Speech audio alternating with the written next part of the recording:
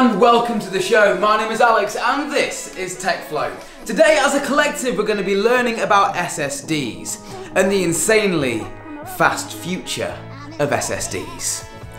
Let's do this. So, Kingston have sent us to take a look at down here the KC1000 PCIe Gen 3 x 4 NVMe drive for your computer. Now, why would you need something like this? Let's delve in. So, put it this way. Now, this is a really clever way to look at it. Remember the switch from HDD to SSD? Think about it this way, if you were going to go out and build a computer right now, the last thing in your mind would be installing your OS, your C drive, on an HDD. You'd want to do it on an SSD to get the most out of your computing experience. So take that leap into consideration from the HDD to the SSD. Now put that on steroids and put yourself in the future. Now we're moving from SSD to NVMe. So let's take a look at what we get in the box and then we'll go over a few of the specifications and why this is necessary and then we'll go about installing this in my office computer.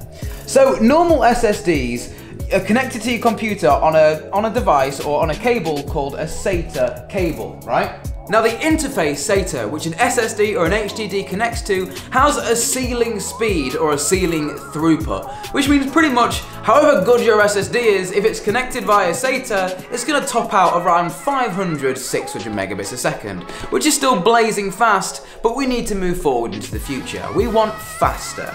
This is where this comes in. Fortunately now we have PCIe, which is the sort of connector that your GPU on your computer, your graphics processing unit will connect to. Now you can actually connect hard drives, SSDs to PCIe and take advantage of all of the lanes and all of the speed. More on that a little bit later. Now with PCIe, this thing is called lanes. But we're not gonna overcomplicate things in this video. We just pretty much wanna see if this is gonna make the computer experience faster or not. Now keeping things simple yet again, this is a Gen 3 card, which gives you around 985 megabits per lane. That's Mbps. Kingston says this card will top out at 2,700 Mbps, and that is enough to battle any SSD.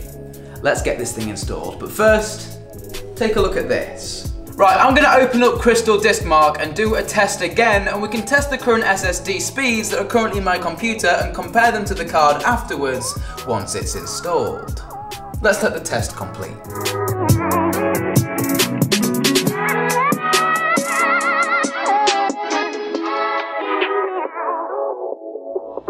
So as you can see guys, in the top left corner we have the Crystal Disk Mark speed test for the standard SSD that's currently in my computer. Let's start the montage and install this PCIe SSD.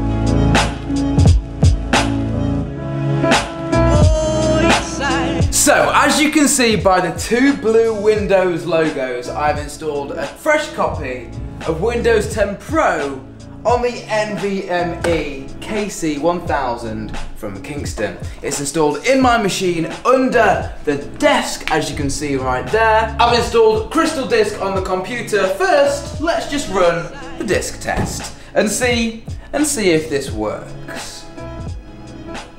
Whoa. Whoa! Almost 2.8! 2.8! Woo! It works! It genuinely works!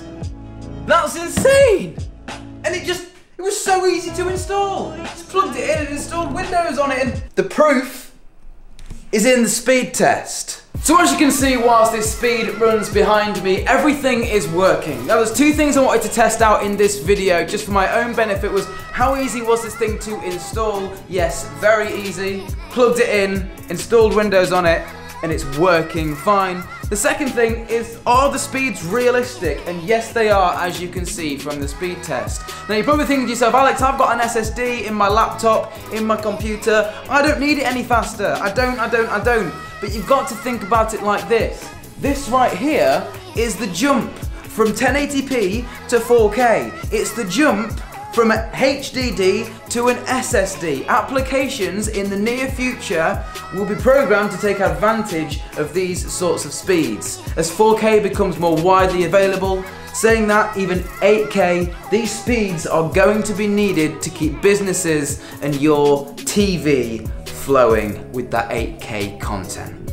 So, that has been the KC1000 NVMe from Kingston. We'll drop a link to it in the description.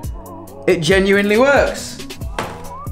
My name's been Alex. This has been TechFlow. We'll catch you in the next one.